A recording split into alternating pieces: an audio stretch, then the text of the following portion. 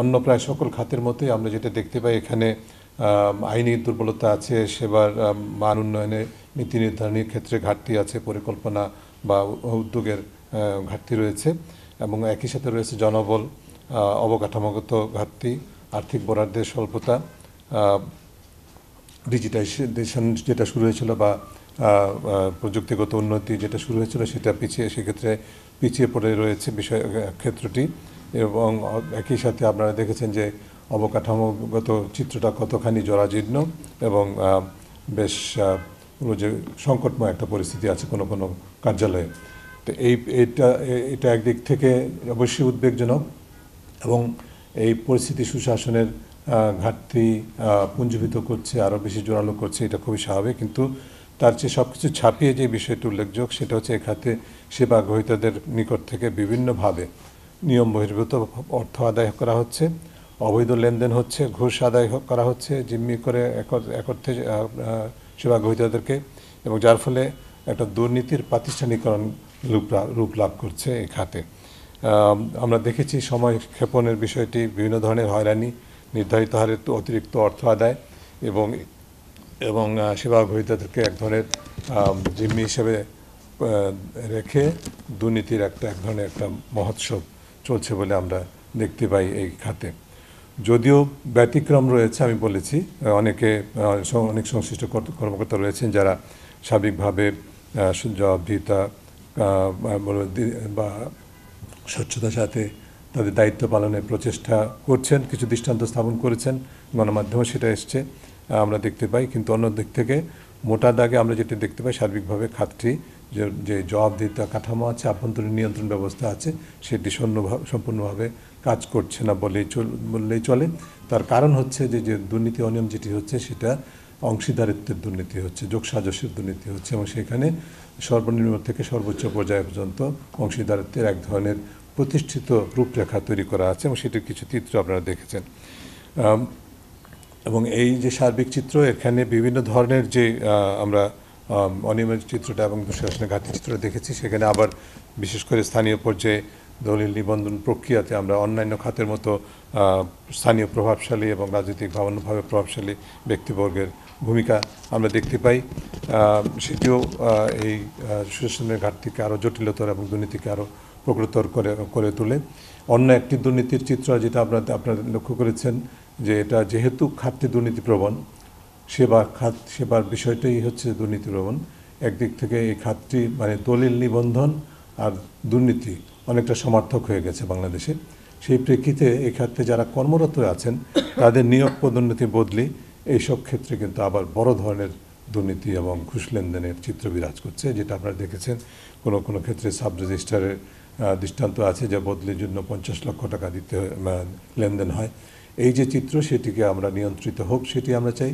এখানে স্বচ্ছতা জবাবদিহিতা প্রতিষ্ঠিত হোক জনগণ দুর্নীতি থেকে মুক্ত হোক, দুর্নীতির প্রভাব থেকে একই সাথে এটা যদি করা সম্ভব হয়, রাষ্ট্রের রাজস্ব আদায় কিন্তু অনেক বৃদ্ধি পাবে বলে খুব সহজভাবে আমরা এটাকে ধরে নিতে পারি। এবং সেই লক্ষ্যে আমাদের বেশ কিছু সুপারিশ, পনেরো দফা সুপারিশ উপস্থাপন করা হয়েছে। আপনারা সেটা দেখেছেন। আমি পুনরাবৃত্তি পুনরাবৃত্তি না করে দুটি বিষয়ের উপর প্রাধান্য দিতে চাই। একটি হচ্ছে যারা দুর্নীতি অনিয়মের সাথে জড়িত আমরা দৃঢ়ভাবে বিশ্বাস করি যে সময় কর্তৃপক্ষের যদি সদিচ্ছা থাকে, তাহলে তাদেরকে চিহ্নিত করে শাস্তি দেওয়া সম্ভব। বিচারায়ত আনা সম্ভব, দৃষ্টান্তমূলকভাবে, এবং সেটা নিয়ন্ত্রণ করা, তার মাধ্যমে নিয়ন্ত্রণের একটা পরিবেশ সৃষ্টি করা অবশ্যই সম্ভব বলে আমরা মনে করি, এবং সেটি করতেই হবে। এছাড়া কোনো বিকল্প নাই। যে কোনো অপরাধ, যে কোনো অনিয়ম যখন অনিয়ন্ত্রিত অবস্থায় বিকশিত হতে দেওয়া হয়, তখন সেটা বিস্তার আরও ঘটবে আরও গভীরতর হবে, সেটি স্বাভাবিক। এবং এক্ষেত্রে সেটি ঘটেছে, এক ধরনের প্রাতিষ্ঠানিক রূপ লাভ করছে। আর দ্বিতীয় যে বিষয়টির উপর গুরুত্ব দিতে চাই আমাদের সুপারিশের ক্ষেত্রে অনেকগুলি আছে, কিন্তু আমরা আধুনিকরণের বিষয়টির উপরে বেশি গুরুত্ব দিতে চাই। বিশেষ করে ডিজিটাইজেশন কার্যক্রম সরকারের পক্ষ থেকে নেওয়া হয়েছিল, কিন্তু সেখানে আপনারা জানেন যে কোনো, বলতে গেলে কোনো খুব একটা অগ্রগতি নেই, উল্লেখযোগ্য অগ্রগতি নেই। ই ডিজিটাইজেশন ই নিবন্ধন সহ অন্যান্য পুরো প্রক্রিয়াটাকে ডিজিটাইজেশন করতে পারলে আমরা মনে করি যে অবশ্যই এ খাতে দুর্নীতি নিয়ন্ত্রণ করা সহজ হবে সম্ভব হবে। আপনাদেরকে ধন্যবাদ। আমাদের পক্ষ থেকে যদি আপনাদের কোনো প্রশ্ন থাকে, আপনার কিছু আপনার যদি প্রশ্ন বা পরামর্শ থাকে বা মন্তব্য থাকে, আপনার সেটা করতে পারেন এখন।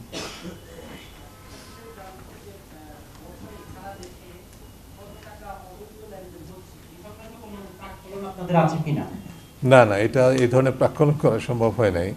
সম্ভব মানে হলে এটা অনু অনুমান নির্ভর হয়ে যাবে এটা কোনো খুব নির্ভরযোগ্য। আমরা কোনো কোনো ক্ষেত্রে যে হারগুলো আছে যে হারে লেনদেন হচ্ছে সেটি দেখার চেষ্টা করেছি। কাজেই এর বাইরে আর মানে সুনির্দিষ্টভাবে মোট কত লেনদেন হয়েছে সেটার পরিবেশ প্রাক্কলন করা অসম্ভব। স্যার আমার একটা প্রশ্ন ছিল আমি একদম পিছনে আছি সরাসরি আপনার বরাবর পিছনে। স্যার একটা জায়গায় বলা হচ্ছিল যে নিয়োগ বদলির ক্ষেত্রে মন্ত্রীদেরও হস্তক্ষেপ বা সুপারিশ হয়। তাহলে কি আমরা বলব যে এই যে জমি নিবন্ধনের যে দুর্নীতির কথা যেগুলো বলা হচ্ছে, এখানে একদম সরকারের মন্ত্রী পর্যায়েও জড়িত? না, ঠিক এইভাবে কনক্লুড করেন না। আপনি যেটা বলতে পারেন যে এখানে আমরা কিন্তু রাজনৈতিক প্রভাবের কথা বলেছি এবং সেটি বিভিন্ন পর্যায়ে বিভিন্ন অনিয়মের সাথে সম্পৃক্ততার দৃষ্টান্ত আছে এবং এক্ষেত্রেও তাই ঘটেছে। এবং বিশেষ করে নিয়োগ পদোন্নতি বদলির ক্ষেত্রেও এটি খুবই একটা স্বাভাবিক চিত্র। বাংলাদেশে সবসময় ছিল এখনও আছে, আরও প্রকটতর হয়েছে, এটুকু বলা যায়। এবং এর সাথে হ্যাঁ? মন্ত্রী না মন্ত্রণালয়। আমরা মন্ত্রী মন্ত্রী শব্দটা ব্যবহার করিনি এটা মন্ত্রণালয়ের কর্মকর্তা কর্মচারীদের কথা বলা হচ্ছে কিন্তু স্থানীয়ভাবে প্রভাবশালীদের কথা আমরা বলেছি।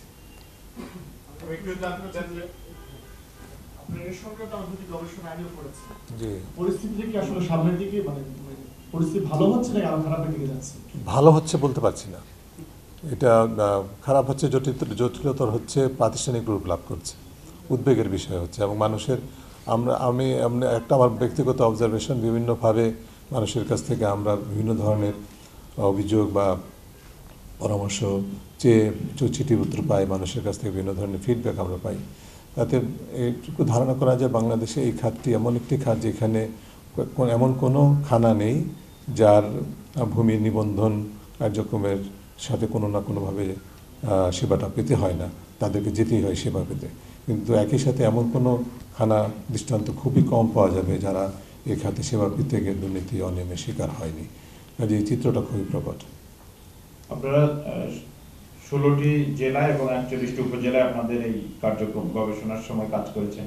আমি জানতে চাচ্ছি এই ষোলোটি জেলা এবং একচল্লিশটি উপজেলার ভূমি অফিসের মধ্যে সবচেয়ে দুর্নীতিগ্রস্ত উপজেলা কোনটি এবং জেলা কোনটি আপনারা পেয়েছেন?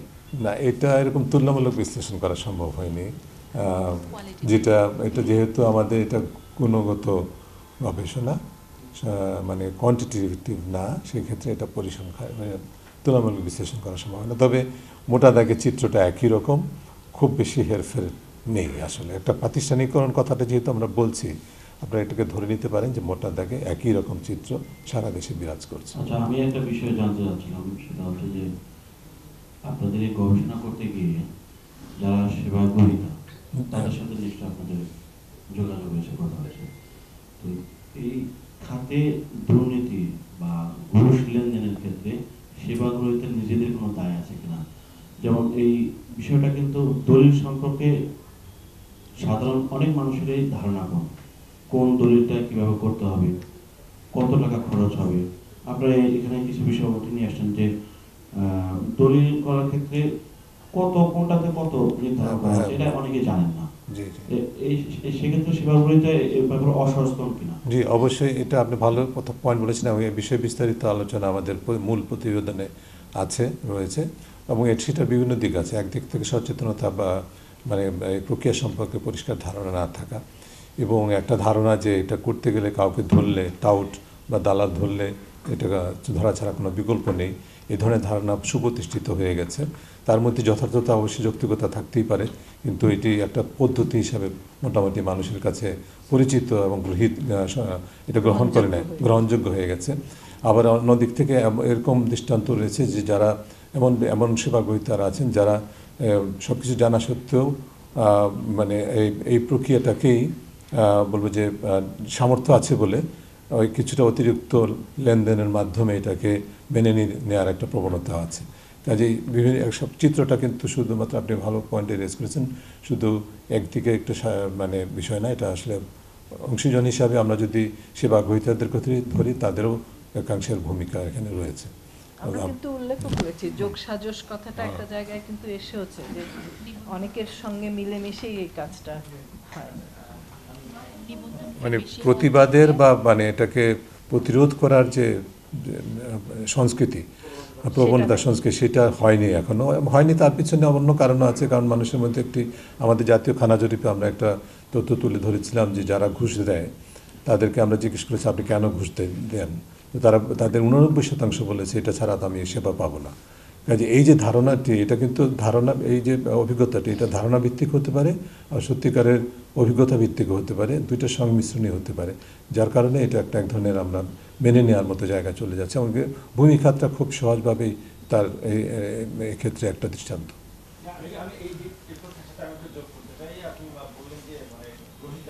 মানে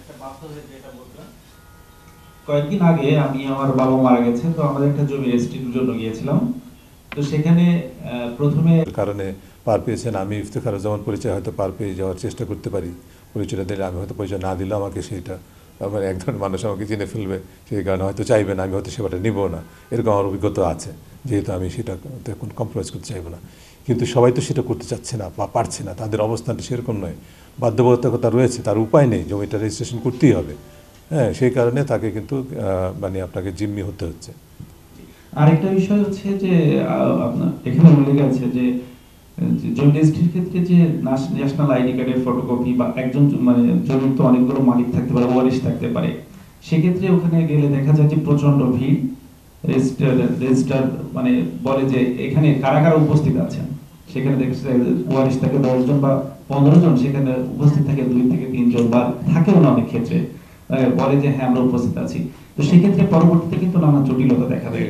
তো সেক্ষেত্রে আপনাদের সুপারিশটা কি? এখানে কিন্তু কোনো সুপারিশের কথা বলা হয়নি। আচ্ছা জরিপ বলতে আমরা যেটা বুঝি সেটা হচ্ছে যে আমাদের সেই ক্ষেত্রে সুনির্দিষ্টভাবে স্যাম্পল ড্র করে সেবা গ্রহীতা এবং সেবা প্রদানকারী উভয়ের কাছ থেকে প্রত্যক্ষভাবে তথ্য সংগ্রহ করতে হবে। সেটা এই ধরনের গবেষণার জন্য কিন্তু উপযোগী নয় প্রয়োজনও নেই। আমরা কিন্তু সেই দিকে যাচ্ছি না। আপনি যেই পরিসংখ্যানটি চাচ্ছেন যে আসলে সারা দেশে রেজিস্ট্রেশন বাবদ কত টাকা মানে লেনদেন হয়েছে এবং কত টাকা ঘুষ লেনদেন হয়েছে সেই জিনিসটা অঙ্কটা মানে খুব গুরুত্বপূর্ণ না। গুরুত্বপূর্ণ হচ্ছে কী প্রক্রিয়ায় পাইলে ভালো হতো, কিন্তু গুরুত্বপূর্ণ হচ্ছে কী প্রক্রিয়ায় কী কী ধরনের পদ্ধতি ব্যবহার করে এই ধরনের অনিয়ম দুর্নীতিগুলো হচ্ছে সেগুলো তুলে ধরা। সেগুলো ধরার জন্য, তুলে ধরার জন্য যে সোর্স অফ ইনফরমেশন যা তথ্যসূত্র আমরা যাদের সাথে কথা বলি, যাদের কাছ থেকে তথ্য সংগ্রহ করি, সেই তথ্য সূত্রই যথেষ্ট।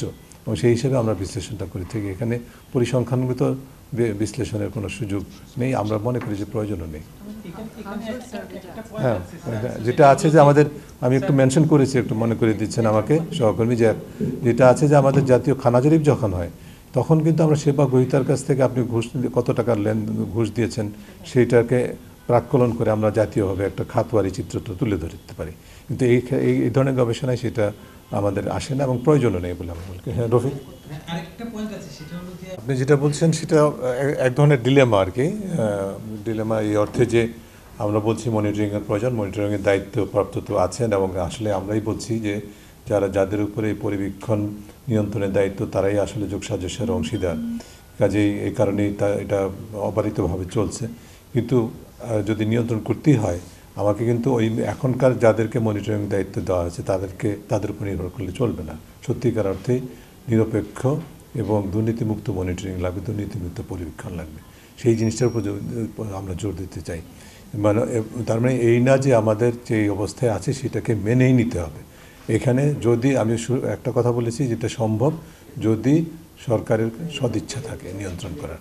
নিয়ন্ত্রণ করার মতো সদিচ্ছা থাকলে প্রতিটা কার্যালয়ে কিন্তু অবশ্যই নিরপেক্ষ অনুসন্ধান, খুবই সহজে নিরপেক্ষ অনুসন্ধান করে কার্যকর ব্যবস্থা এবং দৃষ্টান্তমূলক শাস্তি নিশ্চিত করতে পারলেই, জবাবদিহিতা নিশ্চিত করতে পারলেই তখন কিন্তু এটা আস্তে আস্তে নিয়ন্ত্রণ। এবং পৃথিবীর সব দেশের অভিজ্ঞতায় তাই বলছে।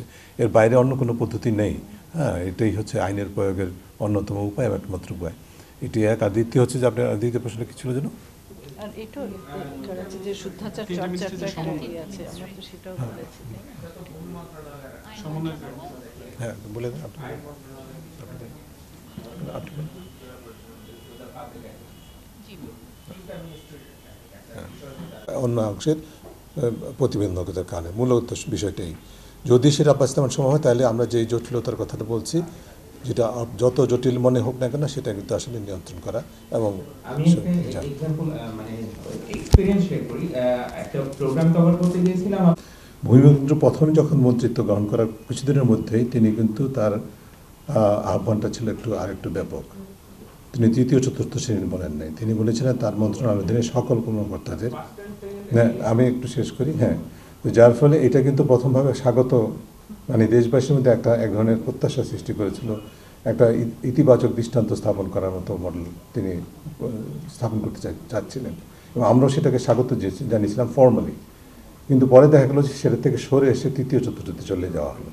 এখন এইটার মূলত সাবস্টেন্সটা হচ্ছে যে একটা প্রতিবন্ধকতা আছে যে স্বচ্ছতার বিপরীতে। এবং সেটার কারণে, সেটার অন্যতম কারণটাই হচ্ছে অন্য কোনো কারণ থাকতে পারে না। অন্যতম কারণই হচ্ছে যে, এখানে স্বচ্ছতার ঘাটতি হলে সুযোগ থাকলে, সুযোগ হয় অনিয়মের জড়িয়ে থাকা জড়িয়ে পড়ার এবং তার সুবিধাটা অর্জন করার।